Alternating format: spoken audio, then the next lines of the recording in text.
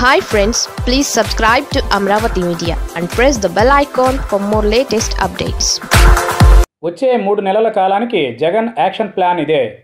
జగన్ అంటేనే కాలం కంటే ముందు. ఆయన పదండి ముందుకు అంటారు. అది కరోనా కాలమైనా కూడా జగన్ దూకుడు ఆగదు. ఎన్ని అడ్లు వచ్చినా మరిన్ని బ్రేకులు వేసినా కూడా జగన్ స్పీడ్ తగ్గదు. జగన్ మనసులో ఒక ఆలోచన పుట్టాలి కానీ అది ఆచరణలోకి రావాల్సిందేనని అంటారు. ఇక జగన్ ఇప్పుడు భారీ యాక్షన్ ప్లాన్ని రెడీ చేసి పెట్టుకున్నారు. మధ్యలో కరోనా వచ్చి పుణ్యకాలాన్ని రెండు నెలల పాటు తినేసింది. అయినా ఇప్పుడు నష్టమేమీ లేదంటున్నారు జగన్. ఆ రెండు నెలలు కూడా యాక్షన్ ప్లాన్లో ముందుకు తోసేసి మరి కథ కానిచ్చేద్దామని అంటున్నారు. జగన్ ముందు ఇప్పుడు అర్జెంటుగా లోకల్ బాడీ ఎన్నికలు ఉన్నాయి. వాటిని పూర్తి చేయాలని జగన్ పట్టుదలగా ఉన్నారు.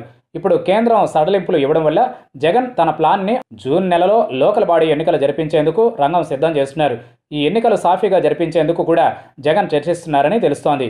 వీలైతే పోలింగ్ బూత్లను మరిన్ని పెంచైనా ఎన్నికలను జరిపించాలని సామాజిక దూరాన్ని పాటించేలా చర్యలు తీసుకోవాలని కూడా జగన్ ఆదేశిస్తున్నారు. ఇక గంటకు యాభై మంది వంతున టైం స్లాట్ విధించి వారినే పోలింగ్ బూత్లకు రప్పించేలా చూడడం వారి మధ్య సామాజిక దూరం పాటించేలా చూడడం పోలింగ్ బూతుల్లో కూడా శానిటైజర్లు ఇతర పరిశుభ్రత వస్తువులన్నీ ఉంచడం చేస్తున్నారని అంటున్నారు. మొత్తం మీద చూసుకుంటే జగన్ చూపు ఇప్పుడు లోకల్ బాడీ ఎన్నికల మీద ఉంది. జూన్లో అది జరిపించేస్తే ఇక జూలైలో పట్టాల పంపిణీ అదే నెలలో విశాఖకు రాజధాని షిఫ్ట్ వంటివి ఉంటాయని అంటున్నారు.